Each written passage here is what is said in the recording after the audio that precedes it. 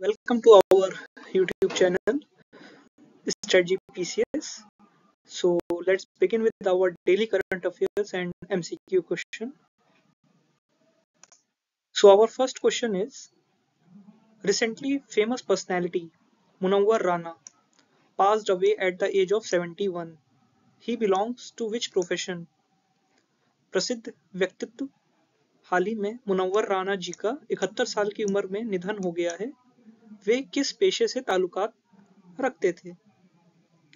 तो बहुत ही जाने माने कवि थे ये हमारे देश के। उर्दू भाषा के साहित्यकार माने जाते थे और ये कवि थे एंड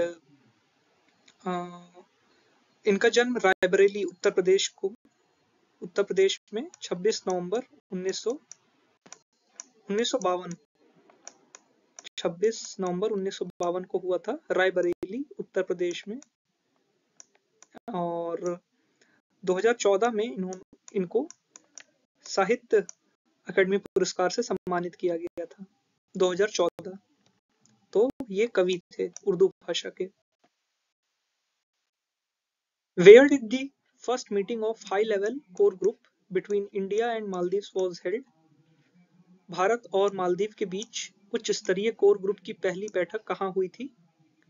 तो हम सभी जानते हैं रिसेंटली हाल ही में हम लोग ने देखा कि मालदीव्स और इंडिया काफ़ी न्यूज़ में था due to our dispute and tension between these two countries तो ये मीटिंग मालदीव्स के कैपिटल माले माले शहर में हुई and during this meeting, both sides, india and maldives held discussions on wide-ranging issues related to bilateral cooperation towards identifying a step to enhance the partnership including uh, expediting the implementation of ongoing development cooperation projects so uh, this high level meeting core group meeting held in Malé city capital of Maldives and earlier known as King's Island. Malé was known as King's Island.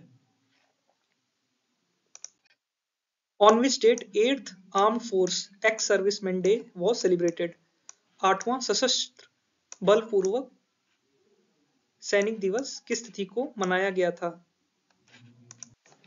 तो ये 14 जनवरी को मनाया गया है and this year this arm force ex serviceman day held pan India pan India में पूरे विश्व, पूरे देश भर में मनाया गया स्पेसिफिकली टेन लोकेशंस पे across the country ten locations namely Srinagar Pathankot Delhi Kanpur Alwar Jodhpur Guwahati Mumbai Secunderabad and Kochi and रक्षा मंत्री श्री राजनाथ सिंह जी ने इसको लीड किया था तो ये 14 जनवरी को मनाया गया।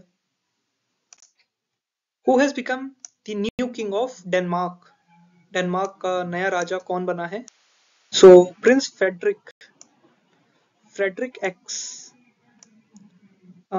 Denmark के नए राजा prince Frederick tenth sorry X नहीं है टेंथ है। प्रिंस फ्रेडरिक टेंथ है एंड डेनमार्क की कैपिटल कॉपन हैगन है। Copenhagen Copenhagen So, Prince Frederick 10th. Recently, at which place the sixth international kite and sweet festival has started? हाल ही में किस स्थान पर छठा अंतरराष्ट्रीय पतंग और मिठाई महोत्सव शुरू हुआ है? तो ये तेलंगाना की कैपिटल हैदराबाद, तेलंगाना की कैपिटल हैदराबाद में शुरू हुआ है। Six international Telangana kite and sweet festival has started from 13 to 15th January हम सभी जानते हैं कि मकर संक्रांति होती है, पूरे देश भर में मनाई जाती है। उसी उपलक्ष्य में पूरे देश भर में, ज़्यादातर गुजरात के शहर में गुजरात स्टेट में पतंग उड़ाई, उड़ाने का पहल है, चलन है वहाँ पे। और इस international kite and sweet festival में सैतीस इंटरनेशनल प्रोफेशनल जो फ्लायर होते हैं पतंग के, उनको बुलाया गया है फ्रॉम 16 कंट्रीज़। ये बहुत ही अनूठी पहल थी। 37 प्रोफेशनल फ्लायर्स को बुलाया गया 16 कंट्रियों से।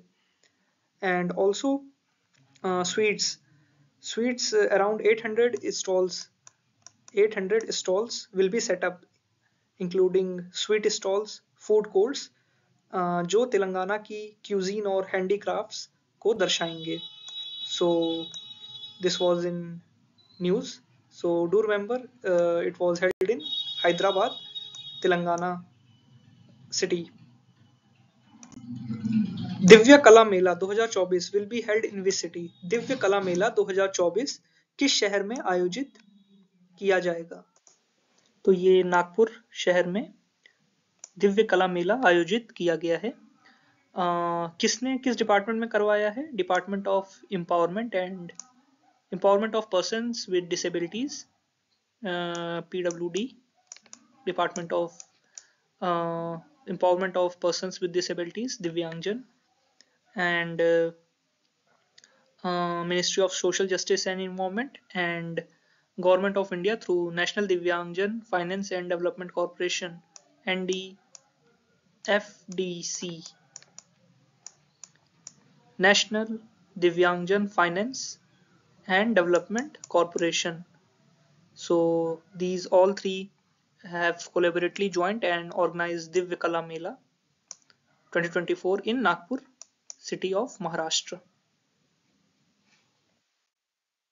Who has been posthumously awarded with the Tenzing Norway National Adventure Award मरणोपरांत किसे तेंजिंग नॉर्वे राष्ट्रीय साहसिक पुरस्कार से सम्मानित किया गया है सो तेंजिंग नॉर्वे नॉर्गे नॉर्गे होगा Tenzing Norgay it's not Norway Norgay national adventure award formally पहले इसका नाम था national adventure award and this this is the highest adventure sports honour of the republic of India ये सबसे हाईएस्ट स्पोर्ट्स एडवेंचर स्पोर्ट्स की श्रेणी में honour देने के लिए सबसे बड़ा पुरस्कार है। तो ये किसे मिला है? सो प्रेसिडेंट द्रौपदी मुर्मू जी ने सविता कांसल जी को ये अवार्ड से सम्मानित किया है। She was a brave mountaineer from Lothru village Lothru village से थी।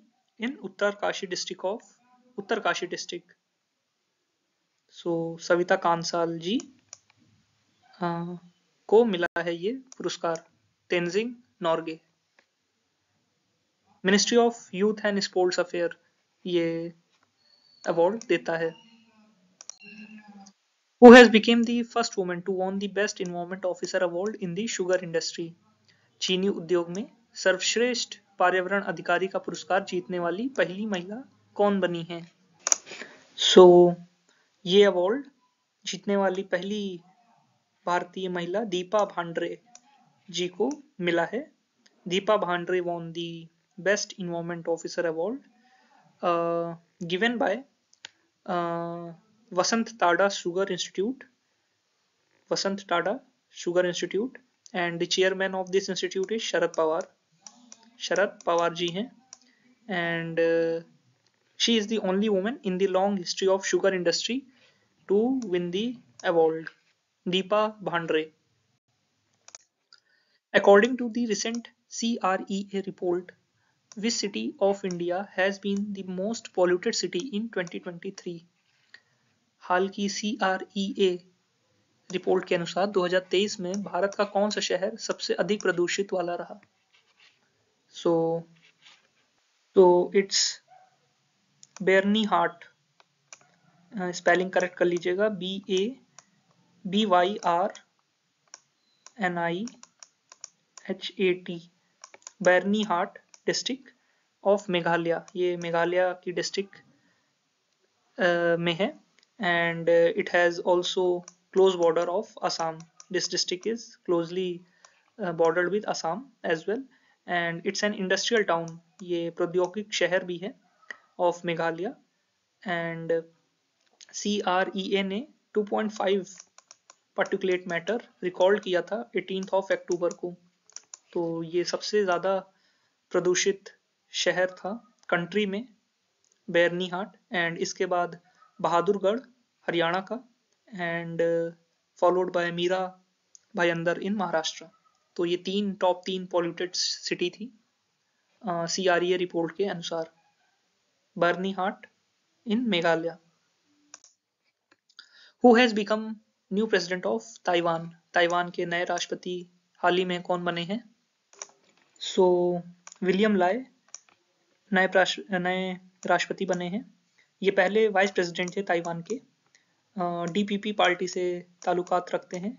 Democratic party of people's party DPP democratic progressive party sorry democratic progressive party of Taiwan and चौसठ साल की उम्र में ये राष्ट्रपति बने हैं। एंड इनका दूसरा नाम है लाई चिंग ते लाई चिंग टे एंड ताइवान की कैपिटल क्या है Taipei city Taipei city so do remember all these information so this is it for our today's mcq and daily current affairs so if you have not subscribed till now do subscribe us on our youtube channel and if you wanted to join us with our telegram channel the link is given in the description of this video आप वहाँ से join कर सकते हैं Telegram channel को। And if have any query do reach out on this contact number और you can mail us at study P C S at G mail dot com thank you